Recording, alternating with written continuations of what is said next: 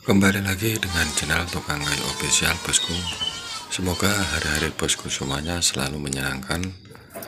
Hari ini saya membuat pintu Dengan berbahan kayu mauni dengan desain yang cukup modern Untuk pintu utama atau pintu depan dengan ukuran 120 cm untuk lebarnya dan untuk tingginya 200 cm Sebelumnya yang baru mampir jangan lupa untuk support channel Tukang Kayu Official dengan subscribe, like, dan share.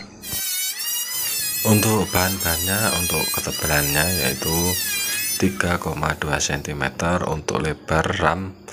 Ini 12 cm untuk atasan juga sama 12 cm untuk bagian tulang tengah tegak atau menyamping ini dengan lebar 36 cm dan untuk isian papannya ini nanti dengan ketebalan 1,2 cm dengan motif untuk panelnya ini kombinasi panelnya ini menggunakan motif minimalis tapi di bagian bingkainya ini ada motif listnya dan tanpa prostek bosku.